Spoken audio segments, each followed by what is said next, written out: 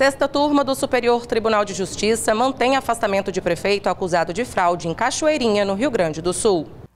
O colegiado negou o pedido de revogação do afastamento do prefeito de Cachoeirinha, Volmir José Mick Breyer.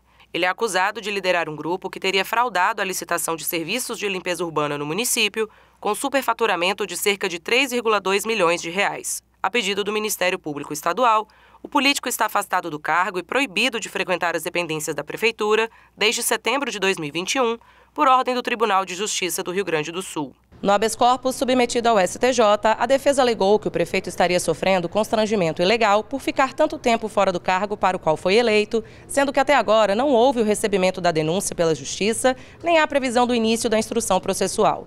Para a defesa, o afastamento tão longo pode causar prejuízos políticos irreparáveis, independentemente do resultado da ação penal. Ao analisar o pedido da defesa, o relator do habeas corpus, ministro Rogério Schietti Cruz, considerou que há risco de reiteração delitiva, pois, segundo a decisão questionada, o prefeito usaria sistematicamente o mandato para fins pessoais, o que impede, ao menos temporariamente, de permanecer à frente do executivo. Para a sexta turma, a decisão judicial que afastou o prefeito apontou circunstâncias que demonstram a necessidade da medida cautelar para evitar a continuidade de práticas criminosas e assegurar a eficácia da investigação. A decisão foi unânime.